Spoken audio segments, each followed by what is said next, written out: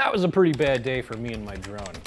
I really could have benefited from this next thing that we're going to start carrying, the Pixhawk 4 Advanced Autopilot System from HolyBro.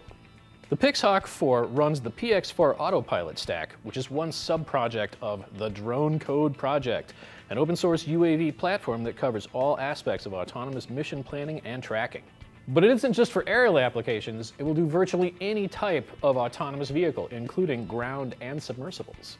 What comes in the box with the PX4 unit is the unit itself, including a USB cable, a power distribution board good for passing current for up to eight motors, as well as all of your PWM signals, a GPS compass module and mounting kit, a bag of goodies that includes soft double stick mounting pads for the Pixhawk unit to reduce vibrations, right angle headers for all of your PWM stuff, an I2C splitter board, and a fistful of interface cables for various ports and other optional peripherals for the Pixhawk.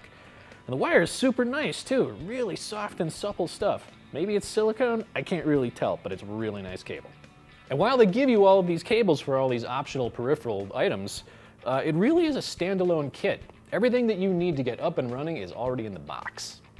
The Pixhawk 4 unit itself sports a long list of tasty parts. Among them, an STM32F765 ARM Cortex M7 running at 216 megahertz, dual IMUs including an InvenSense ICM20689 and a Bosch BMI 055, an IST8310 magnetometer from iSentek, an MS5611 pressure sensor from Measurement Specialties, and a u-blox Neo M8 GPS module.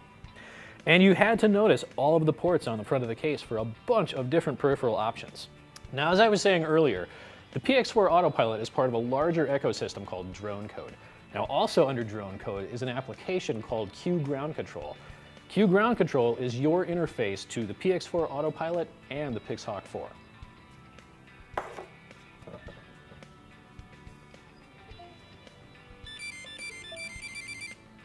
Manual flight mode.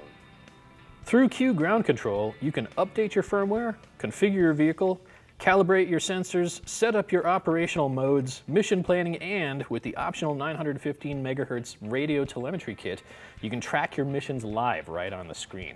Now we don't currently carry the radio telemetry kit, so if you have an interest in that, please say so and we will get it on the storefront as soon as possible. But one of the greatest features of the Pixhawk 4 and drone code is that it's an open source project, which means that if it can't do what you need it to do out of the box, all the source code is available for you to customize and tailor to your specific needs. That's right, it is a full UAV development platform.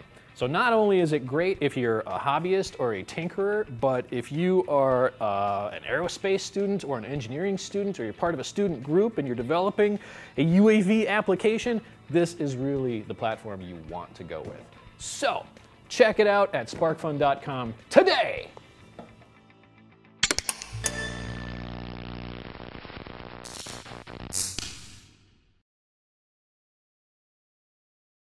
I've already lost my train of thought.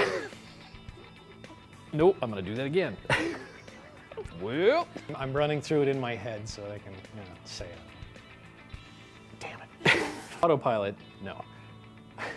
Full development platform. Wait a minute. Okay, here we go. Now, as I was saying earlier,